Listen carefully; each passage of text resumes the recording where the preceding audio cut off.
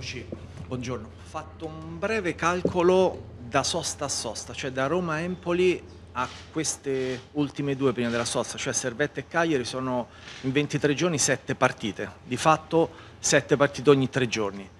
Se questo diventa per la sfida con il Servette e poi eventualmente con il Cagliari, ma insomma a partire dal Servette, questo forse l'elemento più da gestire, cioè il recupero dei giocatori proprio perché ci sarà un sovraccarico di stanchezza, di potenziale stanchezza.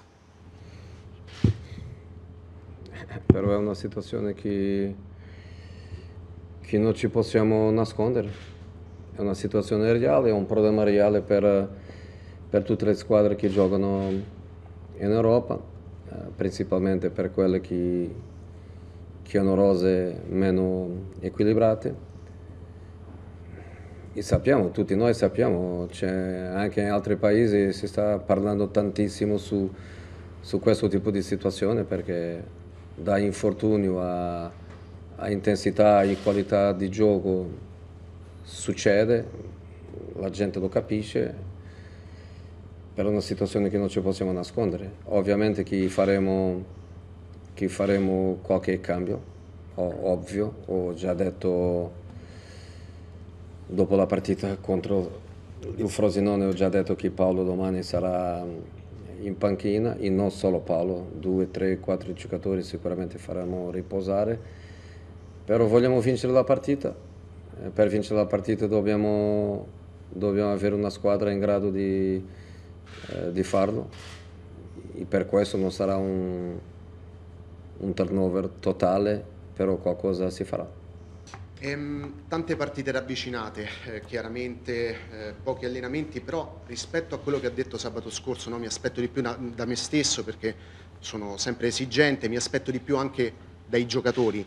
Frosinone questi allenamenti sta vedendo dei passi in avanti eh, dai suoi giocatori, probabilmente anche dal punto di vista mentale, ehm, da quei giocatori che devono rendere un po' di più e se proprio su questo lavoro che sta facendo con i giocatori anche in campo, come abbiamo visto col Frosinone prima della partita, nel riscaldamento, durante la partita, se le pesa ancora di più non essere in panchina domani?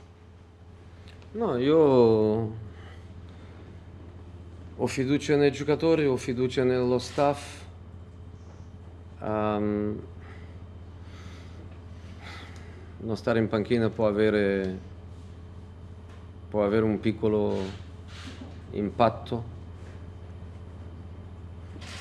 però non voglio andare più di là di questo, un piccolo impatto che dipende anche di come, di come va la partita.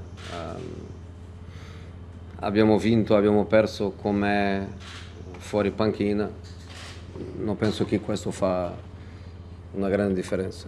Uh, dopo la partita contro il Frosinone come io dico sempre, ho detto principalmente dopo la vittoria contro il Lempori, ehm, che con un altro allenatore sarebbe una cosa incredibile, sarebbe un, una partita di un altro mondo, con noi è stato normale vincere 7-0, niente.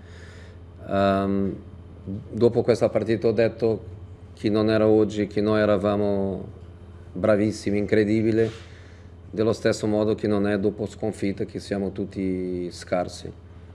Io dico questo quando si vince, dico questo quando si perde.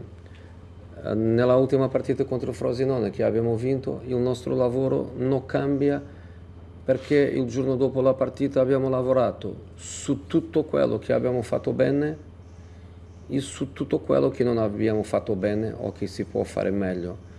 E questo definisce bene quello che siamo, che siamo noi. Abbiamo vinto, però non tutto è stato perfetto e abbiamo lavorato sulle due cose. Ovviamente che è più facile lavorare sulle cose positive, anche perché questo qua ti migliora autostima, fiducia e quando tu lavori sulle cose che tu hai sbagliato che può fare meglio ovviamente che tu devi farlo di modo equilibrato, però tu devi farlo, non puoi ignorare, non puoi nascondere questo.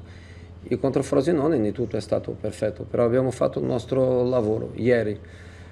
Oggi abbiamo iniziato a fare il servette, dentro dei limiti che possiamo fare perché c'è poco tempo da, da, da, lavorare, però oggi quando voi siete andati eh, del campo abbiamo fatto il nostro eh, lavoro, fase difensiva, fase offensiva, senza grande intensità ovviamente, però abbiamo fatto di un modo a cui possiamo arrivare senza, senza dubbi e, questa è la situazione.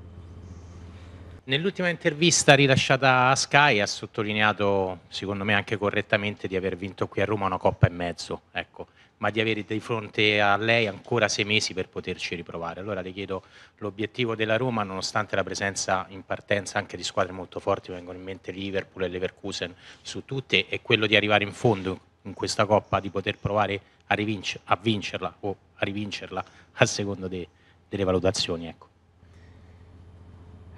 è prematuro. Um, primo obiettivo qualificare, secondo obiettivo finire primo.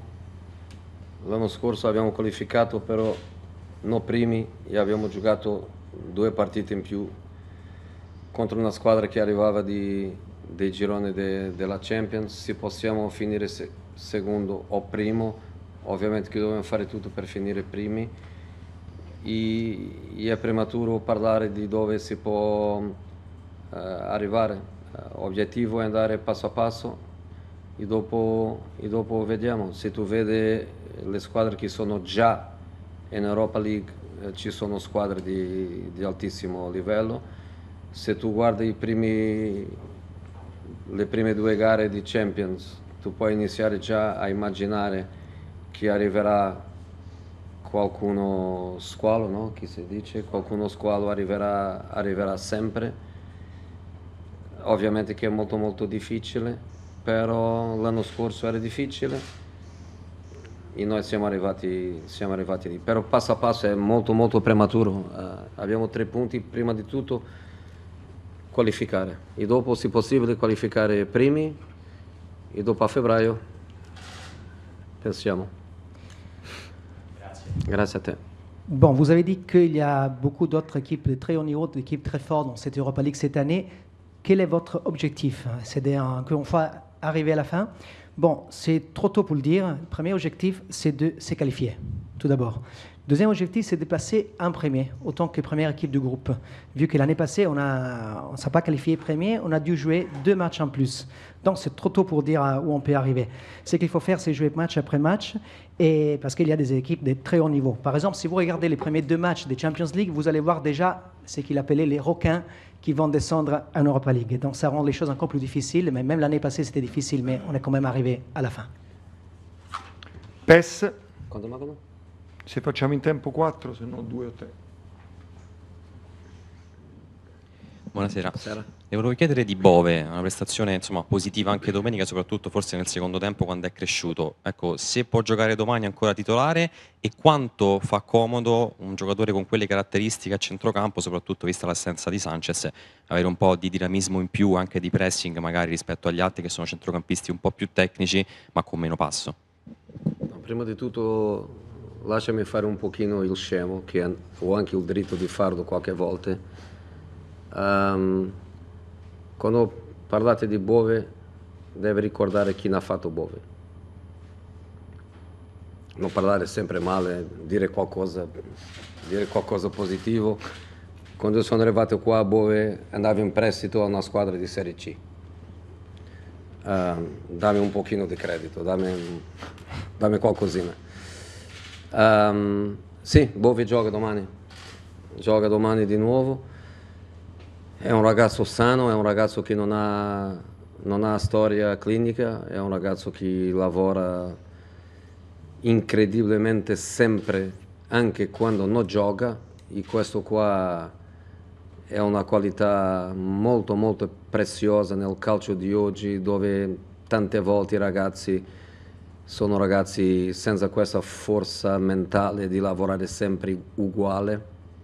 Questo ragazzo è, è straordinario a questo, a questo, livello. Ovviamente che quanti più minuti hai in campo a questa età, più opportunità di, di evoluzione. Ogni minuto che lui sta in campo giocando bene, benissimo o non così bene, è uno che prende sempre questi minuti con grande senso di, di responsabilità.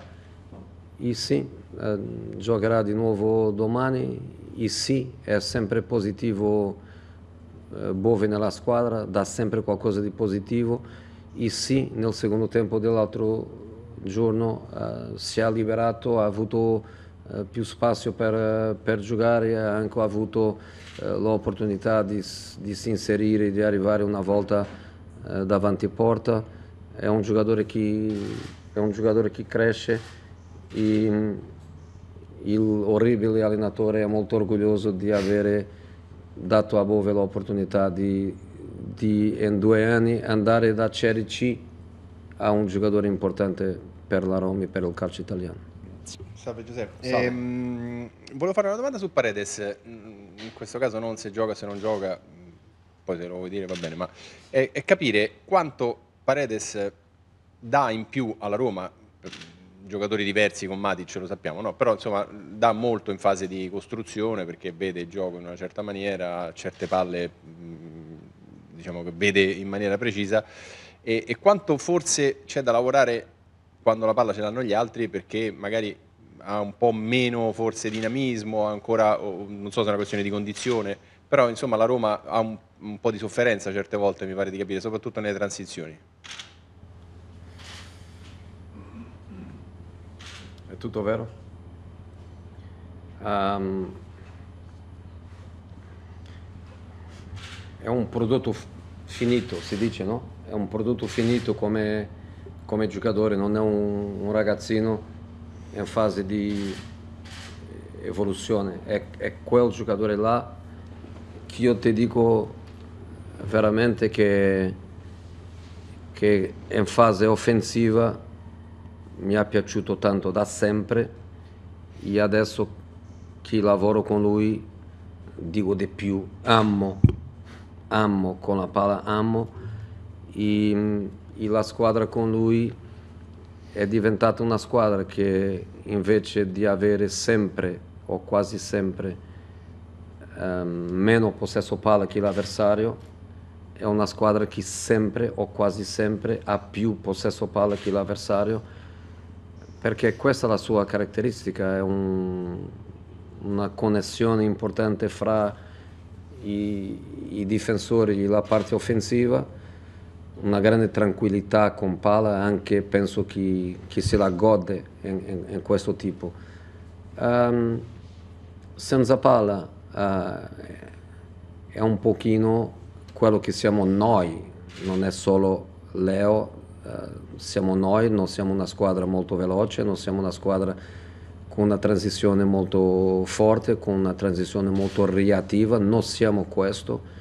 Quello che cerchiamo di fare sempre come squadra è di trovare equilibri, perché se siamo equilibrati questo tipo di problema si sente si sente meno perché la squadra lo combatte con più, con più equilibrio. Nella ultima partita mh, mi è, mi è piaciuto veramente questo equilibrio che la squadra ha avuto, la vera opportunità che loro hanno avuto è stata una profondità diretta di di- dell'attaccante ehm, dell'attaccante centrale dove noi difensivamente non abbiamo anticipato il ridotto la profondità quando il giocatore in possesso era palla libera. Eh, non penso che sia stato un problema dei giocatori di centrocampo, penso che è stato un problema dei difensori che non hanno eh, anticipato la profondità. E questo per dire che basicamente la tua analisi è corretta, io sono d'accordo. Ehm, mi piaceva tanto, tantissimo eh, Nemanja e per questo motivo ha giocato per me in tre club diverso- diversi. Eh, mi piace tanto Paredes come carattere, come giocatore e in fase offensiva amo. Penso che, che è veramente un, un grande giocatore in possesso.